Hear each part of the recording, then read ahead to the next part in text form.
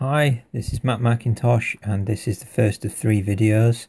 So I'm going to take this headpiece uh, and make it um, decimated from uh, ZBrush um, so that we can retopologize it in another package. So first off, I'm just going to pre-process the thing um, down to 5%. What this is doing is just rebuilding this head um, in a format that could be exported out. So that instead of it being you know nearly two polys uh, two million polys even um, it's going to be a lot lower than that. Uh, so under said plugin click on decimate current knocked it down 52,000 but as I said in other videos um, what that actually is is 100 odd thousand because you only get half a poly count um, so now what we're going to look at is a method of retopology. So this is going to be the first of three videos on how to do some retopology stuff. So I've got this character's head in here. Um, what I've done is I've locked it, I've turned the wireframe off, and I'm just going to draw lines of topology over the top of the thing. So if you're using 3ds Max, you could use the similar sort of process of uh, freeform tools. And as we can see, I'm just extending lines, creating new lines. Um, if, for example, I didn't want this particular line, I could just Control Z it or Alt click on it, get rid of it. If I wanted to extend from the bottom of it, I can just press the Shift key and keep on drawing. Um, and this is just a really cool way of being able to rebuild your meshes in a format that you're after. Now, because you're in a 3D package, it gives you access to all those kind of edit polygon tools.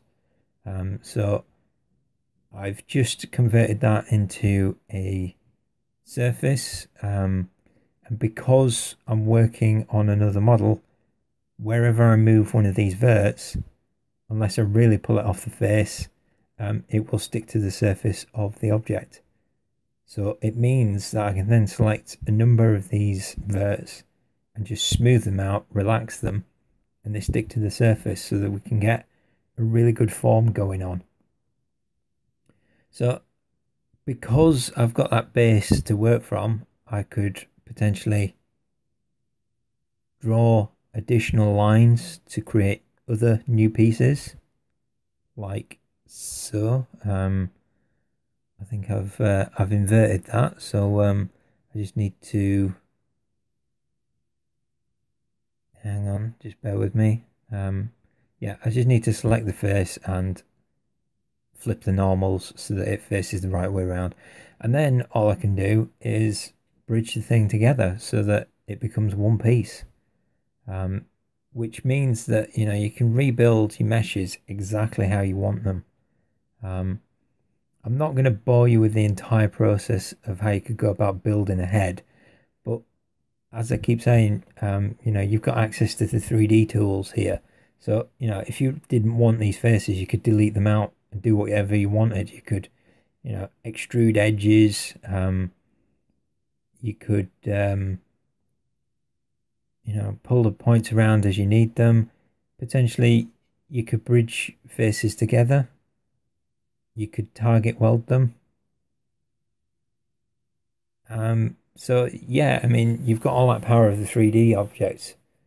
Here's one I've kind of created earlier. It took about an hour and a half to build. I'm not going to kind of bore you with that whole process.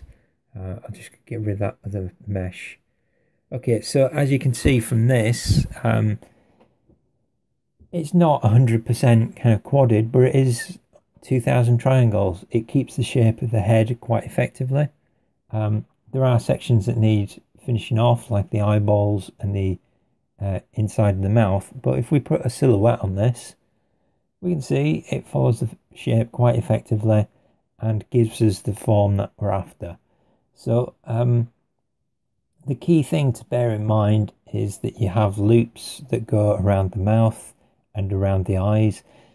You know, it, it's not essential that you have loops going everywhere. Um, you can have triangles at the back of the eyes and in the nostrils because those areas aren't going to move. So Um, get rid of polys where you need to, but keep the essential ones around the mouth and the eyes, and that should allow you to animate it.